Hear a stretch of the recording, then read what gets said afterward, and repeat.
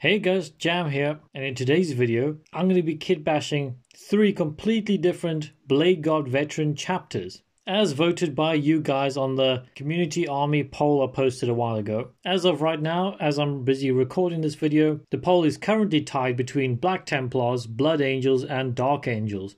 So figure what better way to do it than just, well, do all three in one video.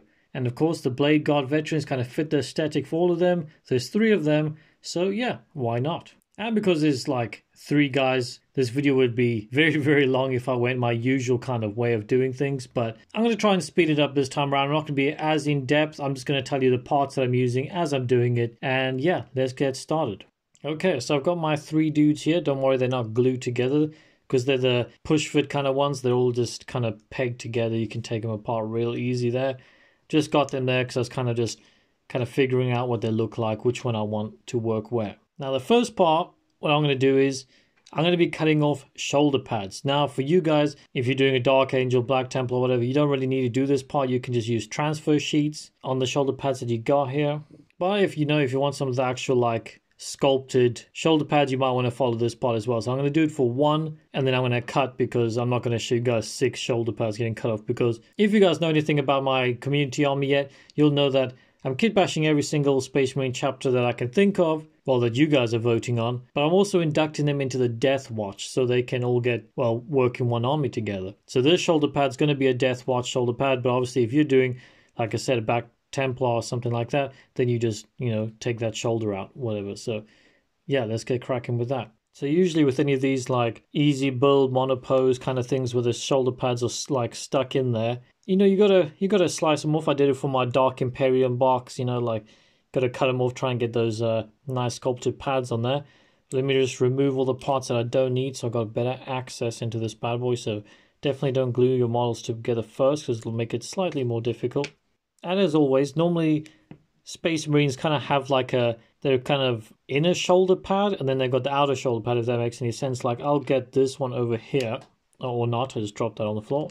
I'll grab another one. If you see this one, it's got this kind of like rounded shoulder pad section, and then you put the actual logo shoulder pad on top of that. So we want to kind of cut this that we still got this kind of like rounded bit to it. And as you can see here, we've got that kind of molded out for us already. So all we're going to do is get our clippers and very, very slowly and gently just chop our way through this. We're not going to use clippers the whole time. And then when we get to a certain point, that we're going to fit the shoulder pad. If it doesn't work, we just kind of clean it down, fit the shoulder pad, carry on. So best way to do it is just get started, ready? I mean, this is such a shame because these are very nice shoulder pads.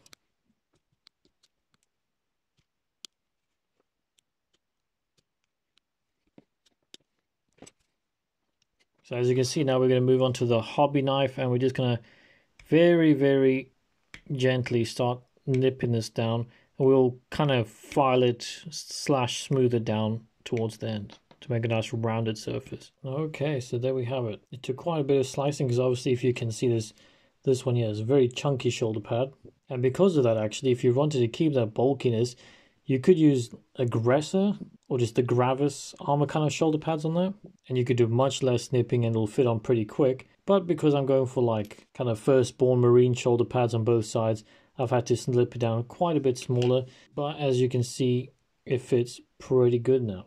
All I'm going to do now is just kind of smooth it off and round it up. So I'm going to use the blade kind of like backwards and just kind of do that and file it down to it's nice and smooth and round. And like I say, all you're going to do is snip, dry fit, snip, dry fit until you get it right. Alright, so after about a half an hour, possibly more, probably more, of slicing and dicing, I managed to smooth out all these shoulder pads and now they can fit on normal old school shoulder pads. So that fits on really nice on that one. Did the sword arms as well. Like I said, just clipping and filing until you kind of get it right. Just dry fitting every now and again. So you can see you can pop them all on now. They'll fit really, really nice. So I'm going to be able to get some of these like shoulder pads from the old school marine upgrade sprue. So this is from the obviously the Blood Angel upgrade sprue. You can obviously use the new Primaris versions if you want, but I feel these have more character. And of course, I'm going to do, I've got the Dark Angel one as well. But what I have done is this one, because you know on Death Watch, the right hand shoulder is the one with the like, like the chapter logo on it. So I've left this one for the Black Templar, and I'm just going to use a transfer sheet on there instead of slicing that off. So and it kind of still looks right with the smaller like Death Watch shoulder pad on the other side as well. So yeah, it's the only one I haven't snipped off. So yeah, now that the shoulder pads are done, I think we could probably start sticking the actual torso bits onto there so we can actually start fitting the models together and you know working out the actual cool stuff. Unless of course you want to cut off these kind of tilt shields or can't remember the proper name for these things because you do get some chapter specific ones and stuff like that like the dark angels upgrade sprue has one if you want to kind of swap it over but the plans i've currently got i think i'm just going to leave them like that even though they're death watch and they want to be from different chapters i still want to make them somewhat uniform i don't want them to look completely different in the entire chapter, if you know what I mean. I mean the entire unit. So yeah, I think I'm going to go ahead and start gluing the bodies together. And there we have it. Most of the model is together now on the bases and everything. So all that we got ready to do next is attach this shield and swords, get the heads on. The reason why this guy's already got a head on is this head, this helmet is pretty much perfect for Black Templar. So I don't really want to change it up. I think this guy's probably going to be my least changed out of the lot because you know, these Blade Guard veterans are pretty much made for Black Templars. So he's going to be the most bog standard. I'm going to put, be putting some chains and stuff like that, but yeah, that's that guy. So yeah, let's start attaching the weapons and stuff like that and see if we want to change them up at all. So let's firstly get the swords on because I think we can pretty much do that without getting in the way of the models too much. So it's not going to block up any details if we want to do some changing later. So I'm just going to stick a bit of glue on each arm. Nozzle's coming out. Now I've got to figure out uh, which arm belongs to which one. So I believe this one goes on here. Then this one obviously goes on here because that's the other non-Black Templar one.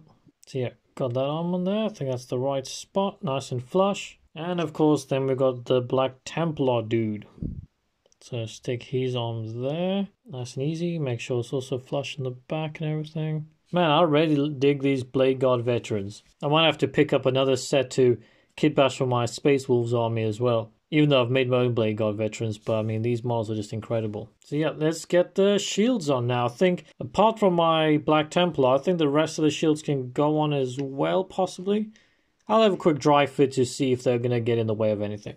Alright, as I was busy checking the shields and stuff, completely forgot, one of my plans that I had in mind while building these models was I'm going to be green stuffing some extra bit of robe on this blood angel right here. So what I've actually done is I've removed the holster and kneecap kind of thing from there because it wasn't quite set yet. So I think that might make it slightly easier.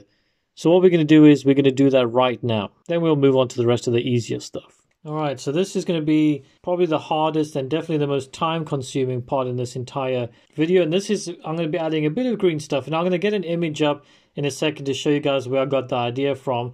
But yeah, I'm going to try and get some like green stuff robe coming from about there, flowing down like across his chest and into this robe that's coming down here. Now, just a, like a pre-warning here, I'm definitely not an experienced robe green stuffer. It's probably going to look horrendous, but if this comes out right, this is definitely going to pump that model up to the next level. This is going to make it look like a real Blood Angel. So, yeah, wish me luck and let's get on it.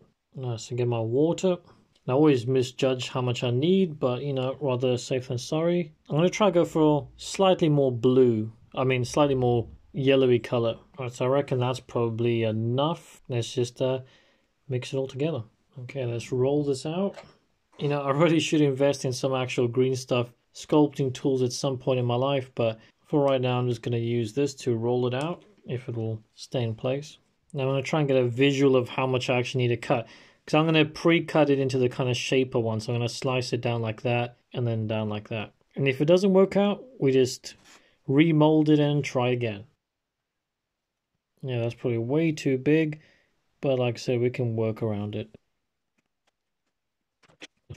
See how big it is, how it fits there. There, we're not actually too far off, to be honest. What I'm going to do is I'm just going to slice a bit more for this side. And possibly off the bottom. You know what? I think that's good enough. I'm going to put a tiny little bit of super glue around there just to hold it in place while I'm working on it. Okay, we've got a bit of super glue there. Let's hopefully get this in place the first time. You guys can already see what I'm going for, hopefully. Push that in there. And let's start working it in. Obviously, we have to tuck it into the belt there. Now, that's a that's super annoying. I've got this hard piece of yellow there, which is going to ruin this whole thing now, really. And one thing I'm going to do as well, because obviously I sliced it at a really like strong angle, so I'm just going to kind of dab it around there just to kind of soften that edge up a bit and obviously get it more flush to the body. Like I said before, I'm literally just winging this. I've barely any experience doing this kind of stuff. Use the end of my paintbrush if I don't want to have any like too fine lines just to get it in place. Just using an assortment of like my paintbrushes and my scalpels and whatever things I can get my hands on ready that I think can work. I'm super annoyed by not seeing this yellow part though. I don't know if I can get that out without ruining it. Alright, let's try and get some kind of creases here at the bottom where it would be tucking into the belt. Alright, unfortunately I had to risk it. I've ripped that hard bit of green stuff out. That was my fault for not checking for that because I know that does happen quite often. But I should be able to save this hopefully. Use the fat flat end of the hobby knife to just kind of tuck it under there. Okay, so all I'm really going to do at this point is I'm going to make sure that I get some folds and creases in there, kind of like that, just to make it look a bit more natural, and then I'll get back to you guys, because not sure I'm going to be able to do a great job on camera anyway, but you guys kind of get the idea. Even like that, I think it looks pretty effective, but, you know, we've got to get some decent creases in there. Okay, so that's in a pretty good spot. I had, it only took me a couple sec, well seconds, a couple minutes to get it there. Just you know, using my knife and whatever I had to make these folds. Probably too many because you know, like there's only like one big fold and a couple like two, three smaller folds, whereas there's like multiple. And what I normally do is as well is I get like a paintbrush, a little bit damp, and I just kind of like run it over to kind of smooth it out a bit. Sometimes if you got like a really hard paintbrush, one that's been sat around for too long, that normally works kind of nicely as well because you can kind of sculpt with it while smoothing it out and eventually it loosens up and stuff like that. But to be honest, my green stuffing rope skills is awful and I think that actually looks pretty possible. So I'm going to leave it. I want to get to that point where I'm like making it worse just trying to by trying to make it better if you know what I mean. So yeah, I don't know. Let you guys comment below what you think of that green stuffing robe right there. It's something I definitely need to practice, but I feel like that definitely gives it a completely different vibe now and possibly more Blood Angel I hope. So now I can stick the knee and gun back on there, especially before the green stuff dries because I might need to push in there a little bit.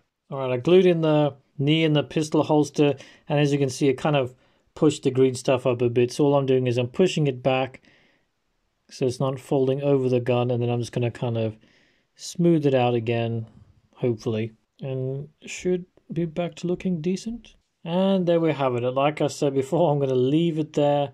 I don't want to make it any worse than that but it's like behind the pistol holster now and I think it looks it looks good enough. Like I say uh, for me for my skills I'm actually pretty chuffed with it. So now I'm going to go ahead and actually just stick the shields on everybody Okay, so let's quickly move on to the Black Templar shield. And while we're at it, we're going to do his sword as well, and that is the chains. You can't make a Black Templar without chaining his hands to his weapons. So obviously I haven't stuck this down here. What we're going to do is I got myself some chain here. This is, if I remember correctly, it's a 1.5 millimeter by 2 millimeter chain. You can normally buy this stuff on eBay or any sort of like modeling store and stuff like that. And this is a really quick and simple way to give Black Templars, any molds like quite a lot of character to be honest. So you're gonna need some chain and super glue.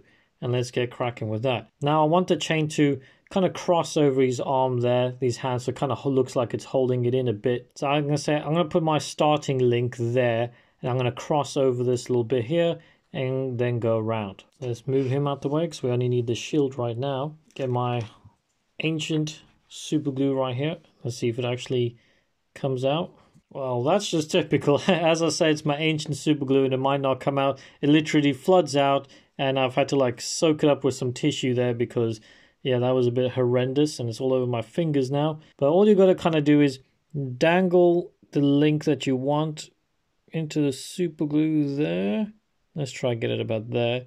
And all you got to do is kind of wait for that to set and then you can start wrapping it around. Okay, so that's set enough now. So like I said, you can start wrapping around. So I've got it going through this little loop there. Then I'm going to have it coming underwood there, going over. See, as you can see, then we're going to get two wraps around here. Get the second one looking like that. And then what I'm going to do is I'm going to snip this part here so then it meets up with that other link there. So we're just going to kind of see where that link is. Sorry, it's a bit fiddly to do on camera. Like I said, we're just going to try and get it roughly measured out. Think about that link there. And we're just going to snip on that point. And then we should be pretty much good to go, really. And just squeeze down. There we go. Now I'm just going to make sure there's a little bit more glue on here. Hopefully it doesn't come pouring out again. Yeah, there's so much glue. I don't know what's going on with this. But wrap it around like I said. And I usually get my tweezers for this bit because got big, big old fat sausage hands. And there we have it. Nice and glued on there. I was literally like one link away from meeting it up on the other side. It's just about touching. And I spilled way too much super glue down there. And all we're going to do is make sure the links are kind of solid. So what I normally do, I've shown this before in previous videos. Usually you'll want like a toothpick or something, but I don't currently have any. So I'm going to use my little tweezers here. And all you do is you dunk it into your super glue you know, get a little bit of glue on the end, and all you do is kind of dab it on the joints like that, and it will obviously set, and all your links and chains will be rock hard. They won't be dangling and moving around.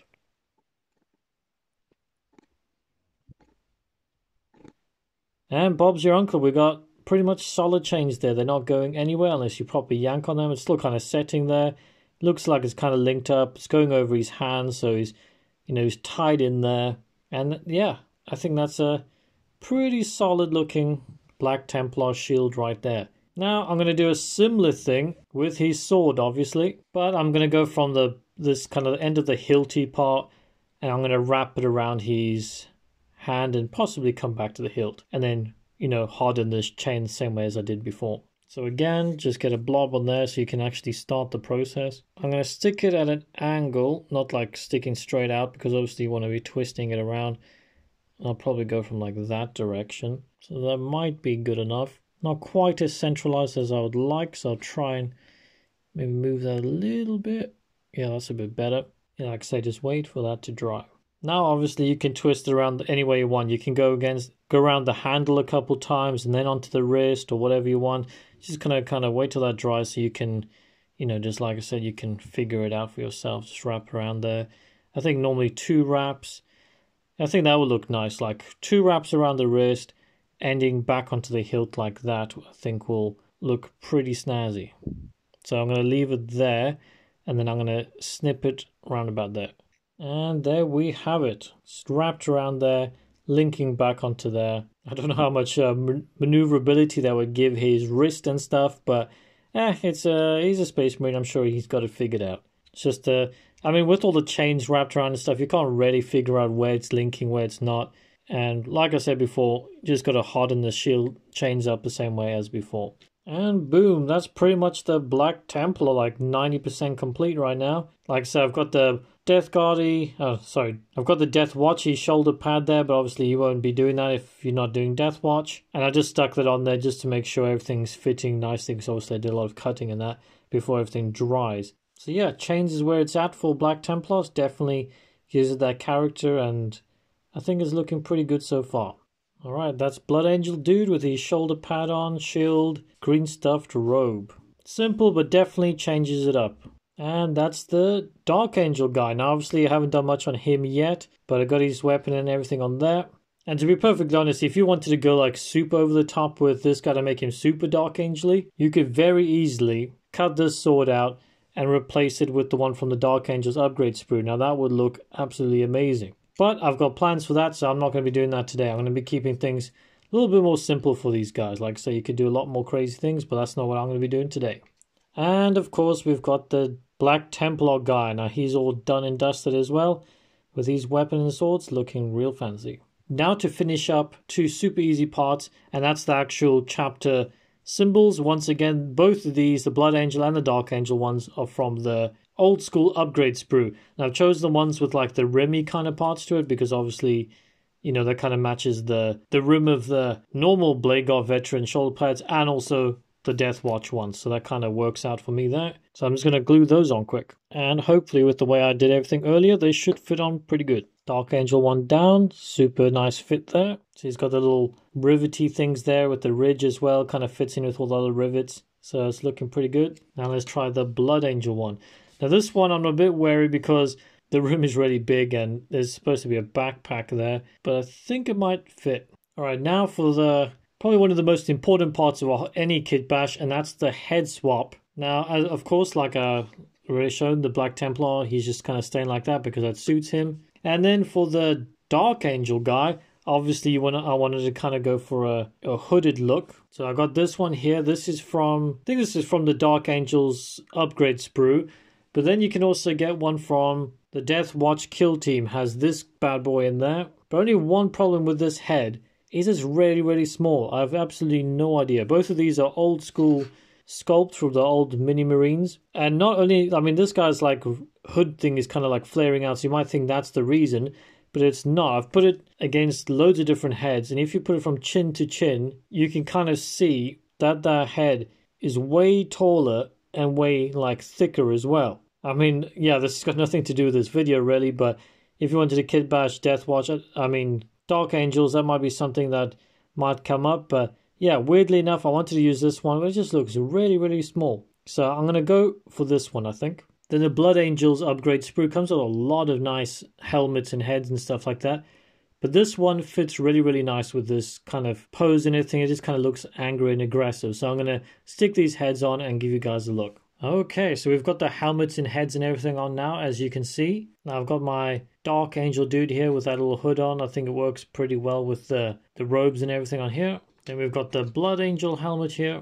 Really, really like this one. I think the helmet kind of fits with that robe kind of green stuff I've done there. It's looking really, really good. It's probably one of my favorite ones so far. And of course the Black Templar one, just the standard head there. Now one of the last things we got to do, or one of the last big things we got to do is the backpacks. Now I'm in kind of two minds about this because I feel like this backpack kind of like halo thing suits all these chapters and it looks really really good and it also helps the unit look kind of well like one unit really because they're all a little bit different but they've got like some stuff bringing them together. So I don't know if I want that kind of unit coherency. I don't know if that's the correct word. Kind of making them look from the same unit, but it is Death Watch, and you kind of want them to be looking a little bit unique. I mean, they got the same swords and shields as well. Now this one's not sticking on there, so I'm going to take that off. So what I'm going to do is for the Black Templar guy, I'm going to give him the standard one. And then for the Blood Angel, I think I'm probably... I'm not going to cut this off because that would be a waste of a cool backpack. I'm going to use another one from a like a standard intercessor.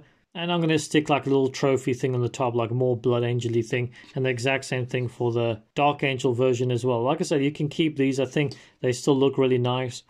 Kind of makes them all fit like they're in one unit, but this is about kit bashing up different things. So I guess I got to kind of make it look a little bit better. Then once that's done, then we're just going to do like the the small little accessories here and there. Okay, so we've done the Black Templar one, like I said, just keeping it nice and standard. And now for the other two guys, I've got the backpacks from the Assault Intercessors, so they've still got the kind of peg on the back. And I'm going to use them because they fit exactly the same as the other ones. Now this little trophy thing is from the Blood Angels upgrade sprue again pretty much everything is from there because it's such a badass little upgrade. There is another one on there, different one, but I think this one probably will suit nicely there. So I'm going to be sticking that one on top there. And the Dark Angels upgrade sprue also has one of these as well, but I'm not going to be using that one. This is actually from, I think this is from the old Dark Vengeance box set on one of the old like monopose Dark Angel Marines. And for some reason I had this lying around in my bits box, so I thought I might as well use this. I know it's painted up and stuff, but once you spray over it, it'll be fine. I'm probably going to have to do a little bit of slicing just to get it to fit in place, but yeah, that's the one I'm going to be using for my Dark Angel. Okay, so we've got all the big things done. We've got our little backpack banners on here. I think they're looking pretty snazzy. I think the only one I'm not 100% keen on is probably the Blood Angel one, to be fair. This was my favorite model up until putting this on. I don't know if it kind of feels like it takes away from the the whole kind of thing, the flow. Maybe it's too chunky. I'm not really sure, but it's on there now, so yeah, we've got that. That's pretty much all the big stuff done. I mean, like I said before, you can go way over the top with these models if you want. You can change the swords and whatever, but you know, I'm doing a whole army. I'm trying to reserve some bits. But for the final step, what we're going to do is dive deep into our bits box and find loads of little accessories. So you have got loads of parchment slash purity seals. You know, Dark Angels and Black Templars love getting riddled in these things, so we're going to need some of them. And the actual intercessor kit comes with like a little like trophies and stuff like little bones and keys. Keys are going to be good for the Dark Angel. There's even this little, I think it's a book. Yeah, you got this little book here. So that will be good for the Dark Angel as well. And I've got a couple like these little strappy bag grenade things that I might stick to the chest because, you know, mine are going to be Death Watch. But yeah, just raid your bits box and slap things where you think is appropriate, really.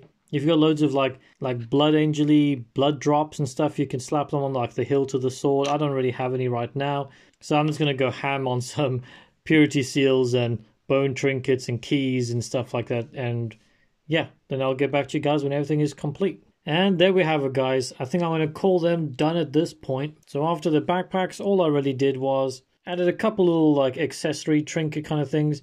For the Blood Angel dude, I didn't do much. I just added little bone trinket down there and a purity seal there just to give his arm a bit more of a movement, like you can see it flowing through the air. Because I feel with the robe and the everything, he feels quite busy and feels Blood Angely enough. Like I said, I'm not too sure about the top banner, but everything else I'm digging quite a lot. So that's that guy done there.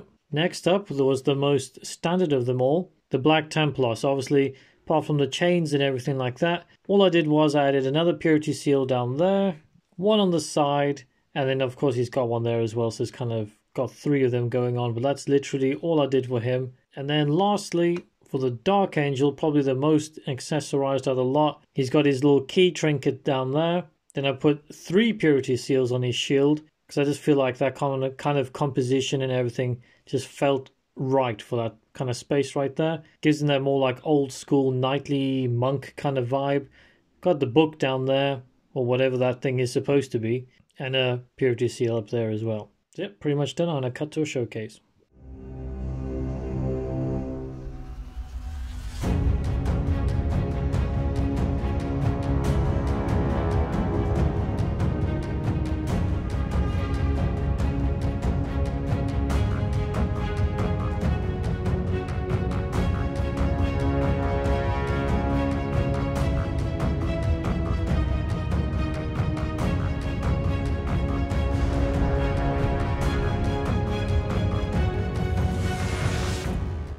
And there we have it guys. It was a bit of a long one but I hope you enjoyed the video or at the very least got some good ideas or inspiration for your future projects. And if you did enjoy the video, maybe hit that like button and if you haven't subscribed to my channel yet, maybe check it out and give it a go because I release hobby content like this every single week. And also if you do watch my content, often I've recently done a Patreon campaign and a merch store. So if you want to kind of help support the channel, help keep my bits box full for these projects, then the links will be in the description below. But until the next one guys, bye bye.